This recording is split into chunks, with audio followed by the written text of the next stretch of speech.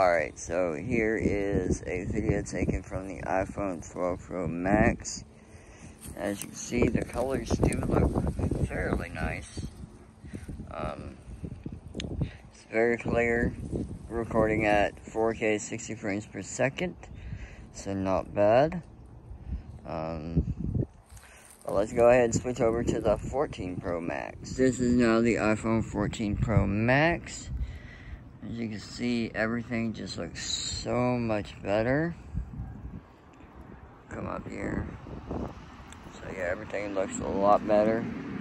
Um, I could probably play around with the uh, action mode, see what that does. But um, it's a lot clearer, a lot sharper.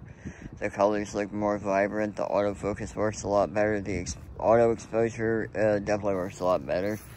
Let me get in here. You see how it kind of exposed the uh, little windmill there. But, um, yeah.